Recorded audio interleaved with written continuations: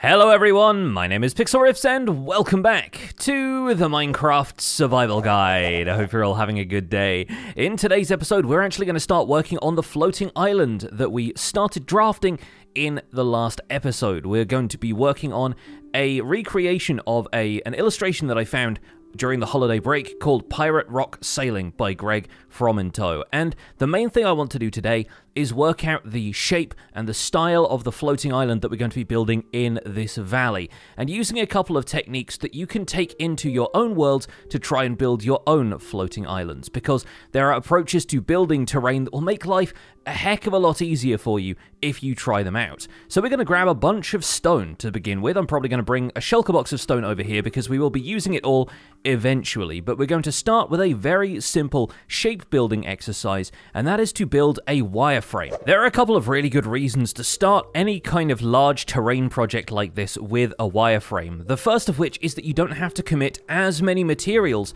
to building something which is effectively a series of lines that you're building in the sky instead of a solid piece of terrain. And the funny thing is, I actually want to start building this sort of centrally in this valley, but that's exactly where this ridge of dirt exists and where I started the stone mine where we put our first beacon. So I'm actually going to take down this pillar of diorite that was marking the entrance to that. It'll be pretty obvious where the entrance is because there's a giant 2x1 hole in the ground. We're also going to tear away some of the dirt from around here so that we start in this kind of basin in the center of the valley. And we can look at doing a bit of subtractive terraforming as well as the additive terraforming we're going to be doing by adding an island here. But there are a couple of other really great reasons to start building this as a wireframe, one of which is that you can move it around a little more easily if you have fewer blocks to put up and take down. I'm mostly planning on looking at this build from the top of the mountain over there, and realistically, if we continue to work around my starter base area, we're only going to be seeing this build from this angle the majority of the time. Now, of course, I want to build this floating island in a more realistic set of proportions so that when we fly around it, you can still get the same impression from any angle, but I expect the majority of the time I'm going to be looking at it from over there. And so I want to be able to look down at the floating island and see some of the grass on the top and the ship and everything without it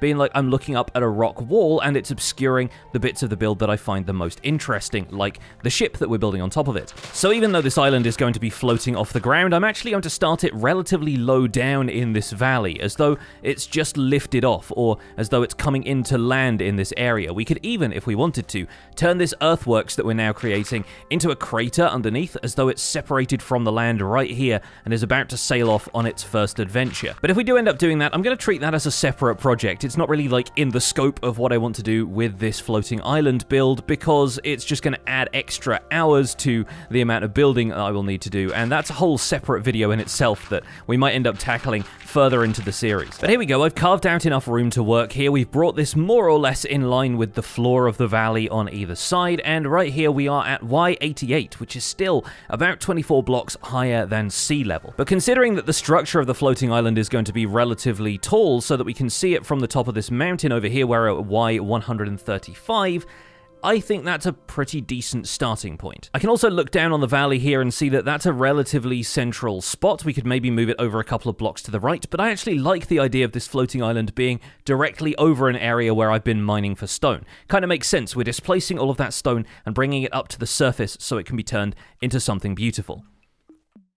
So now with our shulker box of stone, we're going to grab a couple of stacks of this, probably put some dirt away in here as we go, and I'm going to try my best to follow what I think is the line of the underside of the island as seen in Greg Fromenteau's illustration. So we're actually going to be building this as though we can follow the shape in our Minecraft world. And I have done a bit of experimentation with this in a creative mode test world just to try and get an idea of how much of this is possible. This is the third reason to start with a wireframe for this project actually because the inspiration image is a 2D image and so we can start by drawing a flat section of the outline of this island, the silhouette that we want the island to have from a distance, and we can work on building it up in 3D space from there. But starting with a piece of terrain already built is going to be a lot easier than starting with a blank canvas. Naturally, we're going to have to start this a few blocks off the ground, so I'm going to pillar up with a few blocks of stone here, but then remove the ones from below so we can make sure that they aren't counted in our calculations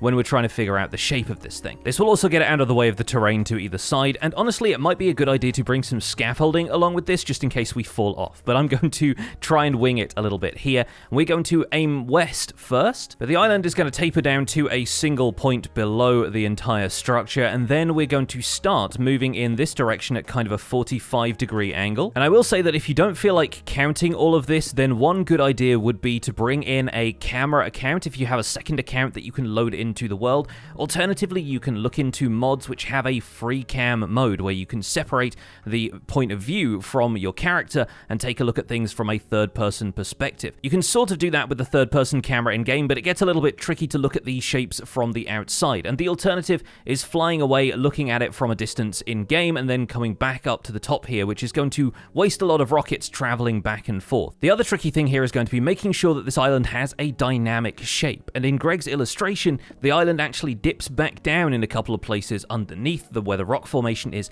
hanging from below, and that's going to be difficult to build on the fly like this, but I've worked out the shape in Creative beforehand, so hopefully this will be a little easier. And once we've reached the highest point of this upward curve, this is, I think, where we're going to start the grassland area that the ship is going to be built on. I'm going to take the Y coordinate down of this, so we're at Y 125, just going to screenshot that to make sure that we have it. And flying down to take a look at this from a distance, you'll see that we have a pretty dynamic shape for one half of our floating island. So now we're going to hop back onto the central column, we're going to build up the other side of the floating island, and we're going to aim to stop around the same Y coordinate, 125. That way, we can make sure that there's a flat piece of land we can build at that coordinate, and that will be the point from which we build all of the stuff on top of the island. We can also take a moment to look back at this from a distance, look down the valley and see the shape of this thing, and decide whether or not that is the right sort of height for it. We are standing at Y124 here, so we've certainly stopped at the correct height in terms of being able to see the flat grassland on top and the ship behind it. And looking at it now, it sort of feels like the island is hanging too low, but I think that's really because of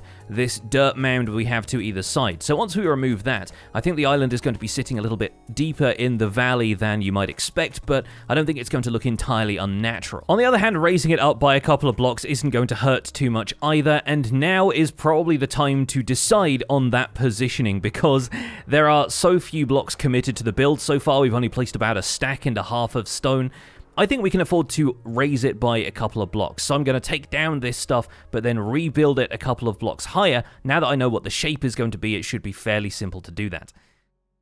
And a short time later, it was a rainy day, so I skipped recording that one, but we've moved the entire thing up by five blocks, so the top of those pillars there is now Y130, and I built out the other side according to the more or less proportions that I see in Greg's illustration, including some of the sections over on this side which hang down directly from the surface of the underside of the rock here, kind of like stalactites. And I think that's a really important detail because it changes the silhouette. It doesn't just mirror the same thing on the opposite side, it gives each side its own distinctive character, which I think works really well and is going to help our floating island feel a bit more realistic. And so far, when we take a look at it from a distance or when I kind of hop over the side of the hill returning from my base to go sleep or pick up some more supplies, it really does feel like something is already here, which is a feeling that you want. I find one of the most difficult parts of starting the process of building like this is not being able to visualize it without having something in the world already. So now we've got this here, it's fairly obvious where the shapes of this floating island are going to go, where its curves are, where the overhangs and cavities are going to be. And now that I'm pretty committed to the shape, the next thing I'm going to do, although this might seem like a strange move to some of you, is to completely fill in this shape with stone. Obviously, we're not going to do much in the 3D space yet, we're just going to fill in this 2D shape from this point to this point with a full wall of stone. And once again, having a flat shape like this in the world is going to help us to visualize what we want to do with the project next. Obviously, at this point, we only want to commit to this when we're happy with the position of the build, because otherwise you're putting a lot of stone in that you're just going to have to take out again. The other thing to note as we fill in this last row is that this whole wireframe section of the build that we have built is now over 60 blocks wide, which is really important because remember the ship that we drafted in the previous episode was at least 50 blocks wide. So knowing that there is more than enough room to support the ship on the structure of this floating island is a very important step in making sure that we've committed to the right scale of build. And it seems like one side of this is actually slightly taller than the other. On this side, the western side, we're actually one block higher than the eastern side. So this is at 130 on the y-axis and this is at y129. But I actually think that works out quite well. To have the island at a slight tilt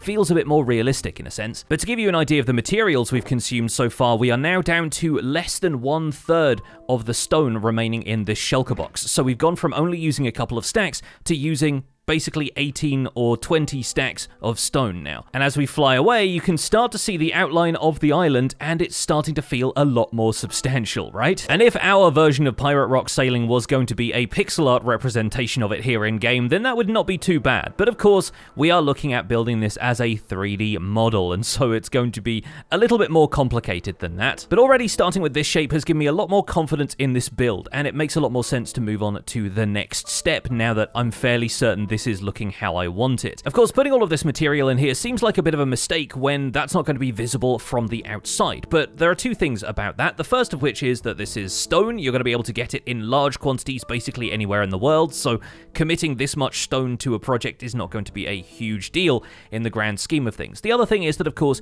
we can always set up a beacon and take away some of this stone later if we want to just insta-mine a bunch of that out from the center of the island. But as a structural element right now, this gives me a much better idea of what I want the shape to look like. So I think it's actually an important step, even though we're doing this kind of piecemeal in survival. With the island in two dimensions here though, the next step is to move it into three dimensions. We're going to start another section of wireframe coming out here, and we're going to go north and south with it. The main issue with that being, of course, that we can no longer really work from the illustration because it's in two dimensions and we're trying to make it 3D. Now, obviously, Greg has drawn the original piece with a certain amount of depth in the foreground, so we can kind of get a sense of the curvature of the island if we you know, fudge it a little bit and interpret it as best we can. But of course, the back half of the island we are never going to see, so that's something that we can try and use the skills that we've already developed here, try and work with the shapes to either side, and try our best to approximate what we think is going to be a good outer curve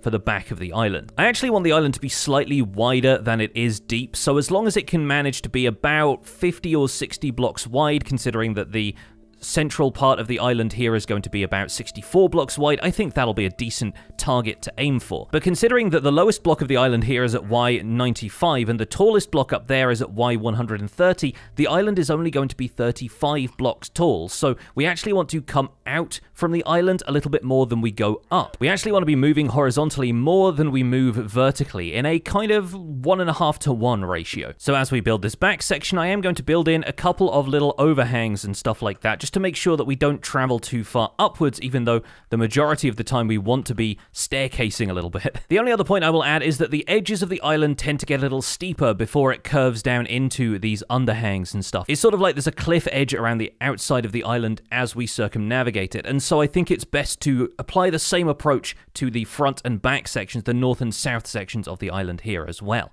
Just taking a look at the back half here, I'd say, yeah, that looks pretty decent to me. I've kind of copied a few of the shapes that we've used elsewhere in the build, so that looks nice. And the ship is going to be sitting just behind the center line of the island about here, so I think we'll try and make the front half of the island slightly longer, since it doesn't look like we've gone too far out here. We've gone up, but maybe not as far out as we could do. And now it's time for the south face, and we've got to bear in mind that there are some overhangs around here that have to connect to something a little bit, but we can work that out a little bit closer once we get the 3D shape going. Okay, that's the south side built. Let's turn around and take a look at it from the center line here so that we can see both sides of that and yeah, I think I'm happy with that overall. They look fairly similar. I've kind of copied the west facing side a little bit more than the east, but overall, this looks like a shape that we can start to blend together. And now we're going to do exactly the same thing, where we fill in this entire shape with stone so that we create something that looks like a cross section, sort of like the grass model or the sugarcane model that you see Minecraft using a lot. I'm also going to refill my stone shulker box just so that we have enough, and we'll start filling in the north and south facing areas of our wireframe.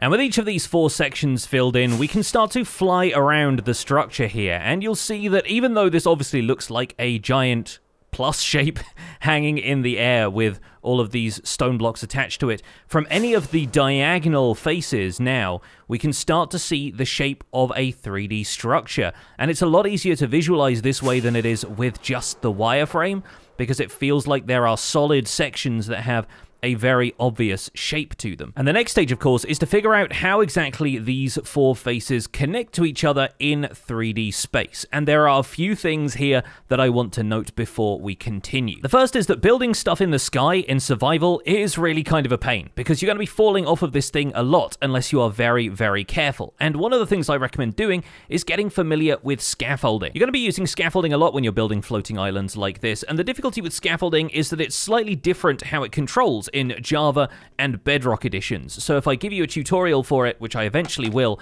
at some point in this series, on Java Edition, the controls are going to be different than they are on Bedrock Edition. The other thing about scaffolding is it's great for vertical transport, but not so much for horizontal, because once you place six blocks of scaffolding out in a row like this, the seventh block is going to fall, at which point you have to start another tower of scaffolding. So if you're bringing scaffolding, bring a lot of it. The other thing I will say, and this might be personal preference, but it might be experience talking at the same time, is to start at the top. Ridiculous though it sounds, it's a lot easier to build a realistic looking island from the top down than it is is from the bottom up, and I'll explain why. These four planes that we've established, these four sections that travel east, west, north, and south from that central point, you'd think are probably going to be the most pointy sections of the island. They're going to be the furthest out that the island goes in any of those directions. So you might be tempted to just start the next section of the island in one block from that so that it comes to a point, right?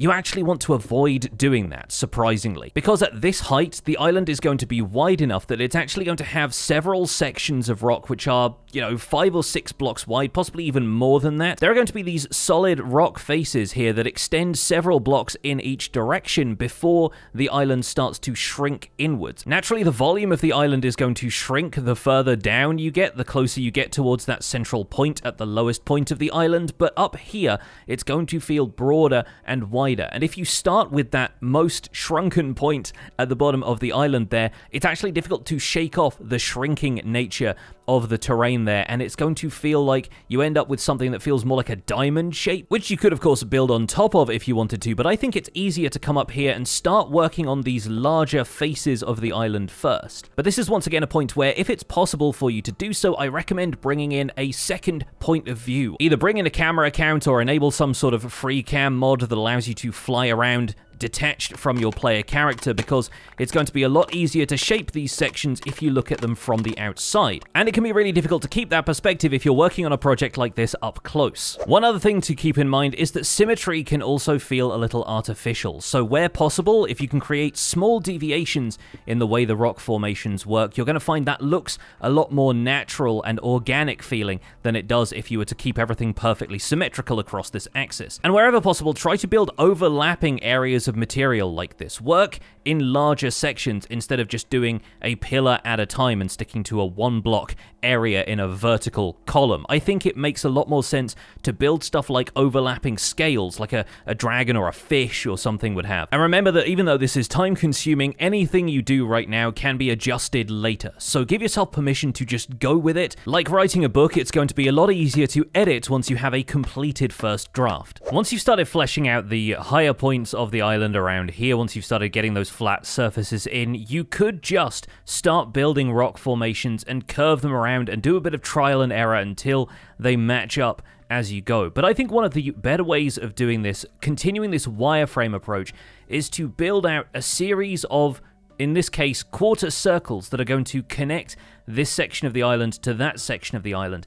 And that allows you to kind of bridge out towards the island, sort of see where you're going a little bit more, and you create those maybe four or five blocks apart occasionally putting in random sections where there's a longer stretch or a stretch that's a little bit more angular. And then when you start the quarter circle a few blocks down, you can mirror that slightly and change the shape a little bit as you go, and then figure out in vertical space how those two connect up. It can be easy to get discouraged when looking at terrain like this because it doesn't really look like a whole lot right now. It's just a bunch of stone, we haven't added in any of the texture blocks yet, and it has a tendency just to look a little bit noisy thanks to all of the light faces and shadows that are together in here. But don't worry about that now. Press forward because we can start to make this place look a lot more coherent once the entire thing comes together. Let's get a few more of these quarter circles in and let's see how we can connect those up. So with a few more of these contour lines in place, you can see how some of them are a little bit irregular and some of them mirror the ones above a little bit more accurately. That allows us to add some shape to this,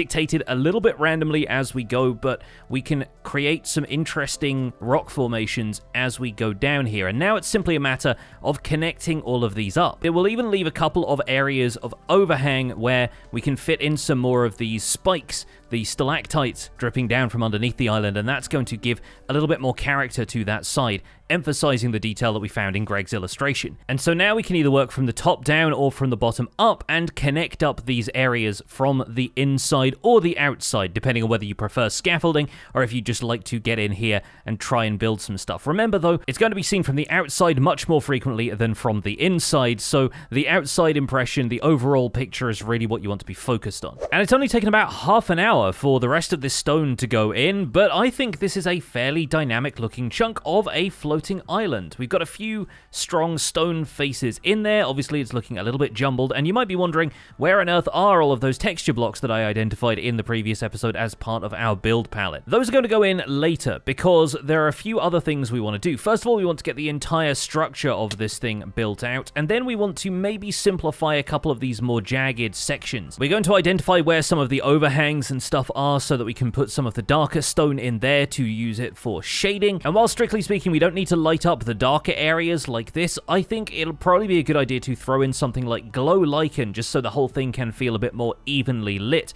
and we don't end up with so many darker shadows like this. Speaking of shadows, though, we do need to make sure we've got a few torches down on the ground because from this point onwards, the island up here is going to be obstructing sunlight to the ground below. So as we go, I'm going to fill in any dark spaces that I see. There's definitely a few forming around here already. We're just going to drop a torch down and carry on as normal. And since the Wandering Trader is here, I might as well talk to him. Oh, and he's trading red sand. Okay, this is one of those trades that I might actually get some use out of. Not for this project, obviously, but since there's a finite amount of red sand in the game, yeah, I think I'll buy some of that. We can only buy 24 blocks at a time. Maybe I'll spend the rest on vines and make myself some mossy cobblestone. anyway, from a distance, I think this island is starting to look pretty cool. It's certainly coming together, and once we got the grass on top with a slope leading up to the ship, I think this is really going to look pretty spectacular. In the meantime, though, we've got a lot more work to do on the outside of this. We have three more quarters of the circle, three more quadrants to fill in, so I think I'm going to get that done on a live stream so that you can see the process happening in real time. We're also going to make sure we do an adequate amount of lighting on the interior here because, of course, this is going to remain hollow. It's going to be far too much stone to fill this entire thing in, and once that layer of grass and other materials goes on top of this, we don't want it to turn into a mob farm. But for now, it's time to get the rest of this island built, so I'm going to go ahead and do that, and I'll see you folks on the other side. Hey folks, welcome back. So on the other side of our hillside here, we have a pretty substantial floating island now. And from above, because we've been working with these in sort of half circle formations, it does look a little bit round, but I think that sort of works out okay. There is a section over here where the island is a little bit more distended. It kind of pulls out in this direction, which I quite like. And at ground level, there are a couple of things that I want to note. First of all, the section on the underside there is very much in shadow. And I haven't done anything with the lighting. We are still on full brightness. I have one torch up in there because there is a section that the terrain sort of inverts and it becomes a little bit more possible for mobs to spawn in there because there's a ledge that they can stand on. So I've decided to light that up, but the rest of this I have left in shadow. It's a very dramatic shadow though, even at full brightness. So I might have to do something about that a little bit later, either by putting some glow lichen up there or spamming some torches here and there. But I do want this whole thing to feel relatively natural. On that topic though, there are some faces of this which, when seen from certain angles, do feel a little bit too cluttered. They feel too jumbly, especially areas like this where